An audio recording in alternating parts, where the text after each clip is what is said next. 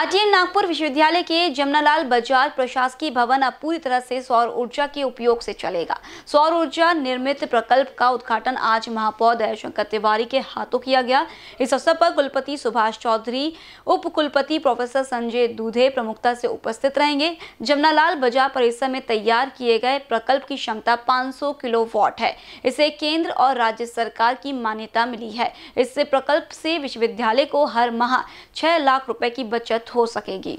उपकुलपति प्रोफेसर संजय दूधे प्रमुखता से उपस्थित रहेंगे। जमुना लाल बजाज परिसर में तैयार किए गए प्रकल्प की क्षमता 500 किलोवाट है। इसे केंद्र और राज्य सरकार की मान्यता मिली है। इस प्रकल्प से विश्वविद्यालय को हर माह 6 लाख रुपए की बचत हो सकेगी। नागपुर विद्यापीठ द्वारा सौर ऊर्जा प्रकल्प बनाया गया है। बहुत ही गर्व की बात है। इस प्रकल्प की सराहना करते हुए महापौर बोले, पुराना टाउन हॉल था, जिसमें बीच में कहीं भी पिलर नहीं था और हैंगिंग स्लैब था। पुराना स्ट्रक्चर था जिसे आर्किटेक्चर इंजीनियरिंग के स्टूडेंट देखने आते थे।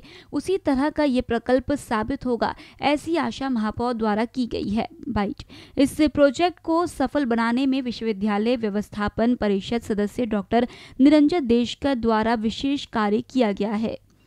विजेची डिमांड पुरत राहणं हा त्याचा मार्ग आहे तर विजेची कन्झम्पशन कसं कमी होईल याकरता सगळ्यांनी आपण त्या सगळ्यांना लक्ष द्यायला पाहिजे बरेचदा आपण कॉम्प्युटर ऑन करून चालला जातो.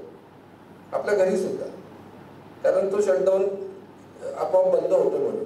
बटन आपण स्विच ऑफ करत नाही किंवा शटडाऊन करत पण कुठेतरी ती एनर्जी चालू असते. कारण हिडन एनर्जी किंवा ते सर्किट चालूच असतात घरी काम नसताना पंखे लाइट किंवा ऑफिसमध्ये चालू असतं कारण आपल्या घर आपल्याला बिल द्यावं लागतं. परंतु आपल्याला कुठेतरी आपल्या निसर्गाची बचत करणं हा हे आपलं परम कर्तव्य आहे हे जर समजलं. आणि त्या विजेची जर आपण बचत केली तर कदाचित आपल्याला हे मोठे मोठे प्रकल्प जे आता दिवसेंदिवस वाढत आहे थर्मल एनर्जी जी वाढत आहे ती कुठेतरी थांबायला पाहिजे. आपला जो इलेक्ट्रिकल प्रोडक्शन आहे किंवा एनर्जी प्रोडक्शन आहे हा खूप जास्त आहे.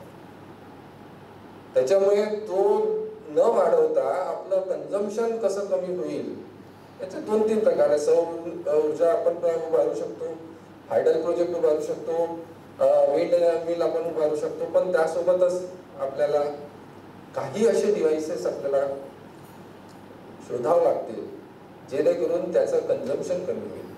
एकेकाळी आपण मुझे बहुत अच्छे से याद है कि नागपुर महानगर पालिका में हमारा एक पुराना टाउन हॉल था।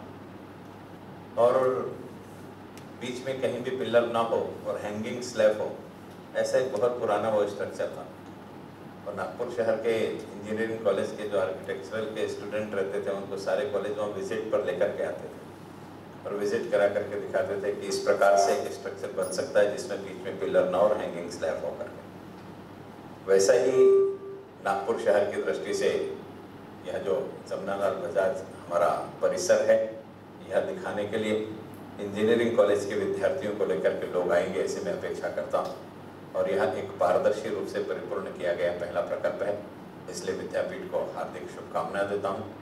और इस शहर में पर्यावरण पूरक ऊर्जा के दृष्टि से आपने पहला कदम उठा करके सबसे बड़ा कदम उठाया है। इसलिए आपका अभिनंदन करते हुए मैं कैमरा पर्सन राजकुमार मोहर के साथ क्षितिजा देशमुख की रिपोर्ट।